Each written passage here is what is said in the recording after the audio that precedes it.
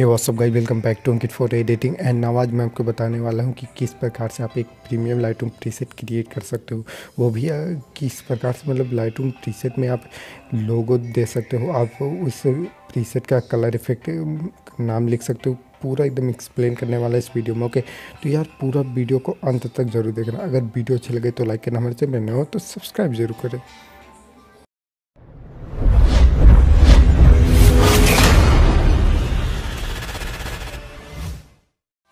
सो गज कुछ इस प्रकार का, जैसे कि हमारा फ़ोटो है तो सबसे पहले इसमें हमें टैग लाइन देना होगा तो इसके लिए हमें इसे यहाँ से शेयर करके पिक्सल लैब ऐप में ओपन कर लेते होगे तो इस ऐप को आप प्ले स्टोर से सिंपली डाउनलोड कर सकते हो। तो यहाँ पे पिक्सल लाइव में हमारा फ़ोटो जैसे कि आ गया है। तो अब हमें क्या करना है, यहाँ पे देख सकते हैं, यहाँ पे थर्ड ऑप्शन पे नीचे जाना है। यहाँ पे जाने के बाद आपको यहाँ पे सेप मिलेगा तो आपको इस सेप को लेना है एंड यहाँ पे इसके कुछ इस प्रकार से देख सकते हैं, जैसे कि सेप में रखना हो, यहाँ पर रखना ओके यहाँ पे मैं लगभग इतना ले लेना इतना मतलब आपको जितना भी रखना हो इसका रख लेना। एंड इसके बाद ऑपोजिट क्या करना है? यहाँ पे फोर्टी सेवन के आसपास मैं रख लेता हूँ।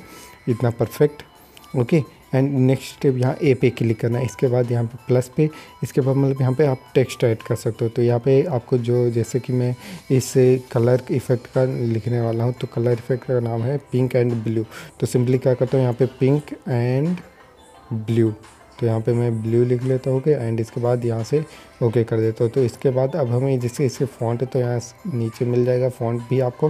तो यहाँ पे बहुत सारे फ़ॉन्ट मिल जाते हैं, या फिर आप ऐड भी कर सकते हो वह फ़ॉन्ट तो यहाँ पे जो भी आपको अच्छा लगे तो यहाँ फ़ॉन्ट भी ऐड कर लेना, कुछ इस प्रकार से। एंड इसके बाद थोड़ा नीचे और भी करोगे मतलब यहाँ पे आपको सैडो मिल जाएगा, इसको भी ऑन कर लेना। यहाँ पे ओके तो मैं इस पर टोन लिख लेता हूँ। एंड इसके बाद ओके कर देना। कुछ इस प्रकार से मतलब आप जो भी आपको कलर इफ़ेक्ट का टोन है या इफ़ेक्ट है तो कुछ इस प्रकार से आप यहाँ पे उसका नाम लिख लेंगे ओके नाम लिखने के बाद फिर से ऐड पे जाएँगे। एंड इसके बाद यहाँ पे, फिर से यहाँ पे इसके बाद लाइटूम प्रीसेट लिखना है। क्योंकि लाइटूम प्रीसेट के ऊपर है तो सिंपली यहाँ पे लाइटूम प्रीसेट पे लिख लेंगे ओके एंड इसके बाद सिंपली डन करेंगे। एंड इसका भी यहाँ पे ए बी फॉन्ट लेंगे।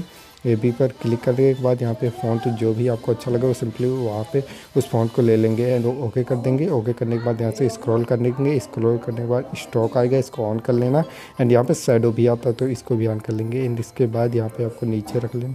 जिससे मतलब ये हाईलाइट होगा एक तरीके से ओके एंड इसके बाद आपको यहाँ पे फिर से यहाँ थर्ड ऑप्शन पे जाना है इंपोर्ट पे जाना है। इंपोर्ट में आप कोई भी आप, अगर आपने लोगो बनाया है तो आप लोगो भी ऐड कर सकते हो यहाँ पे। तो मैं कुछ प्रकार से अपने चैनल का नाम यहाँ पे किड रख लेता हूँ ओके एंड यहाँ पे, अब मतलब इंपोर्ट में जाके बहुत सारे कुछ और भी यहाँ पे टैग लाइन देना चाहते हो तो दे सकते हो।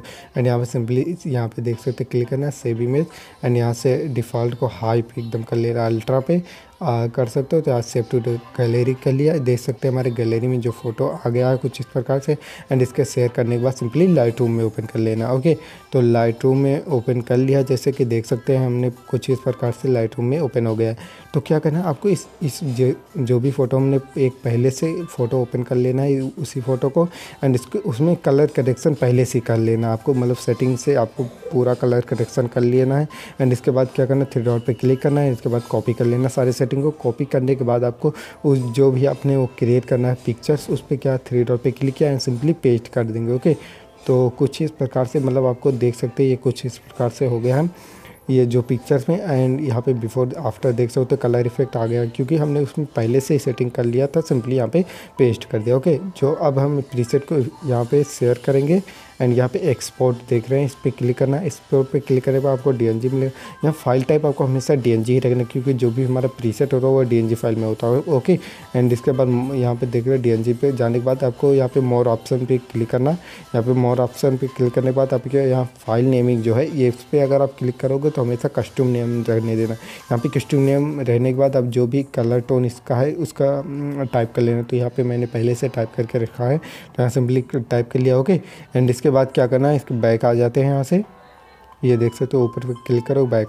तो अब हमें क्या करना है? सिंपली इसको सेव करने के लिए यहाँ पे साइड में यहाँ पे देख सकते हो, ठीक है, यहाँ पे क्लिक करना है। तो हमारा जो भी प्रीसेट होगा ना, यहाँ पे सिंपली आसानी से सेव हो जाएगा। तो इस तरीके से मतलब बहुत ही आसान है इस प्रीसेट को क्रिएट कर लिया।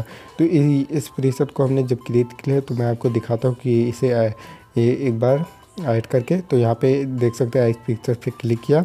एंड यहाँ पे देख सकते ये हमारा प्रीसेट है सिंपली ऐड कर लेते तो मैं पहले इस वाले को डिलीट कर देता हूँ यहाँ से ओके एंड अभी जो हमने प्रीसेट को ऐड किया है तो वो प्रीसेट अभी यहाँ पे ऐड हो गया। देख सकते हो कुछ इस प्रकार से हमारा जो प्रीसेट है, यहाँ पे ऐड हो गया तो सिंपली इस प्रीसेट को ओपन करते हैं एंड इसके बाद यहाँ पे इस प्रीसेट थ्री डॉट पे क्लिक किया एंड सिंपली कॉपी कर लिया। प्रीसेट के सारे सेटिंग को कॉपी करने के बाद यहाँ पे इस फ़ोटो को ओपन किया थ्री डॉट पे क्लिक किया एंड सिंपली पेस्ट देख सकते हैं कुछ इस प्रकार से मतलब बहुत ही अच्छा से ये कलर इफ़ेक्ट आ गया। सो मैं इस कलर इफ़ेक्ट के ऊपर भी वीडियो बना दूँगा कि किस प्रकार से pink and blue colour tone मतलब क्रिएट करते हैं। तो कुछ ओके तो आई होप आप लोग समझ गए होंगे किस प्रकार से लाइट रूम प्रीसेट को क्रिएट किया जाए। सो आई होप आप लोग को वीडियो अच्छी लगे तो लाइक करना एंड कमेंट करके ज़रूर बताना वीडियो आपको कैसे लगी। ओके तो मिलते फिर नेक्स्ट वीडियो में। Thanks for watching